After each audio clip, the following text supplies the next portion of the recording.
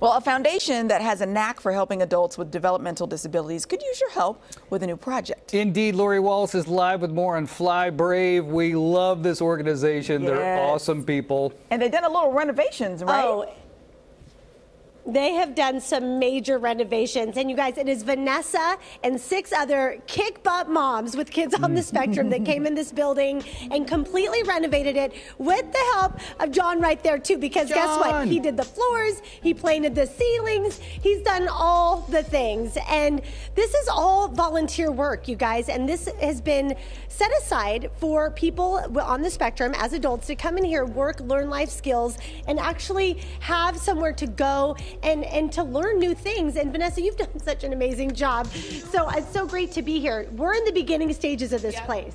Yep, so we just finished the repair and the maintenance, ceilings, floors, put in a bathroom, painted the walls.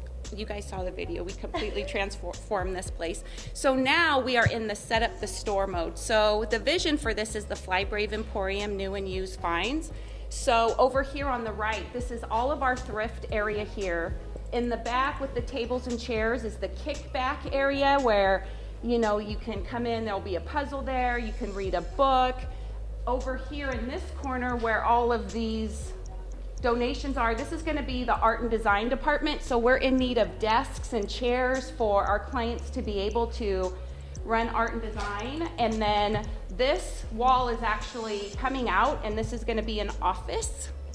And our clients are gonna learn office and technology skills here. And this over here is our pride and joy. Okay, yeah, we're going to go for a little walk, you guys, because she mentioned all the used items over here, which uh, that's this side of the store. But over here, this is really special. These are all uh, people that are on the spectrum that have actually created and made these items. Nice. Yep. So these are from all different parts of the U.S. And this is my buddy Aiden right here. He just sent these in. He is nine years old, and he made these for his mom, and he sent them in and said, "Miss Vanessa, I want to help you raise money." And so his mom made copies of these for us. And so shout out to Aiden at nine years old, helping us raise money for this program. And these are all the shirts we make. So in our art and design department.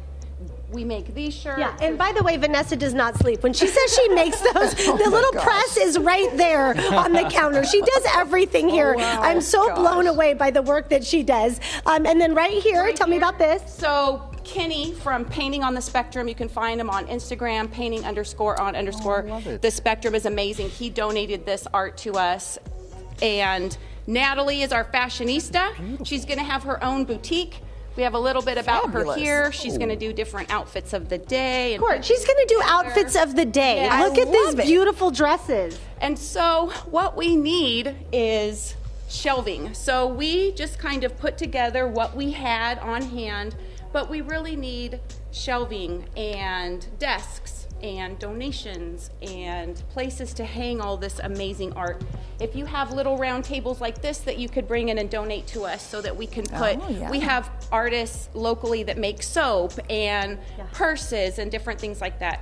And it's also a shout out to our community if you're a local artist and you need a platform to sell your stuff. This is A great space. Yeah. A great space. We got to wrap it up, but real quick, I cannot do that without you telling me real quickly the reason why we're here and how you got started doing this. This amazing guy right here. this. What's your name? Am. Oh. I am John. So it's my son oh. John, and he has nonverbal autism. He ran the Boston Marathon in 2019. Yeah, he did. He's running it again on October 11th. Yeah. And when he was aging out of school, I couldn't find any further, you know, employment or anything like that. So I built this with my kitchen remodel money and hope and faith and a dream five years ago. And today, I love here it. we are, right, Oh, John? I just, I just all for you. lo- love these two. I'm coming back. I'm not done here uh, because they're actually making a coffee shop in the back. so this whole place will be finished soon, and we're going to come see the completed project uh, when they're all done. Vanessa's just going to continue to not sleep and, and finish that too. I'll send it back to you guys. That my is gosh. so cool. I can't wait to visit it. And uh, tell John his next run, I'm behind him all the way. Remember when John John got That's injured the guy right there. and still was pushing. Yeah. Still he was still running. He is no joke. You cannot stop that dude.